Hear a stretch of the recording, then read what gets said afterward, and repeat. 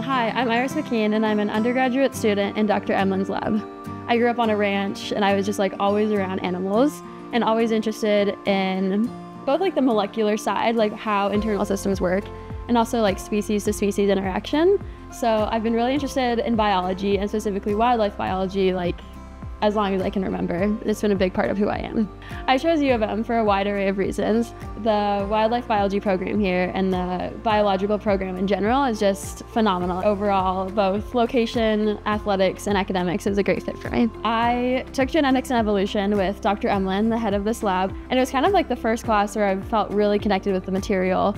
I was like so absorbed in what we were learning. It was kind of the first time where I was like, wow, like finally, you know, out of all these all of these intro classes, like finally a class that I can really like connect with. And then I was kind of like, how can I go further with this, all of this knowledge? And that's kind of how I came across Emlen's lab.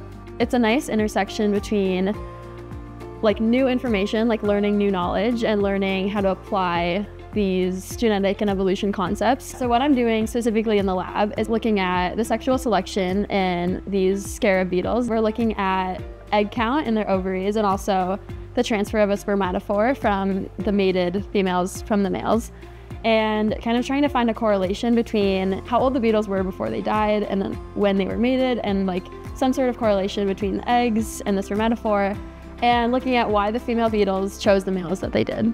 I found research opportunities at U of M to be so supportive and such an amazing experience. And I think it'll really help me apply a small scale new organism to larger scale dogs, cats, ungulates, whatever I choose to work with in the future. I think it'll just really open a lot of awesome doors for me. And I'm really grateful for this new but awesome opportunity.